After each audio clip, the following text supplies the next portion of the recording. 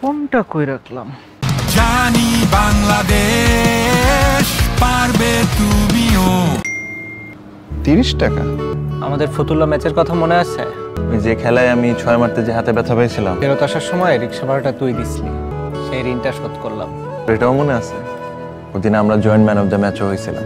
যতবার একসাথে হইছি ভালো কিছু হয়েছে জানি বাংলাদেশ